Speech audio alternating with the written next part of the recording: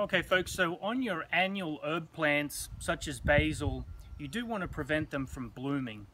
What they want to do is they want to grow to a certain height, to put a bloom out, to put the seed out, and then they're done. So if you keep them from that purpose, they'll better serve you with all of the fresh flavor. So this flower here that's just starting on the basil that you see here, you're just going to go ahead, go in and pluck that off and another one over here. You go through and kind of do this daily if you're not cutting on it.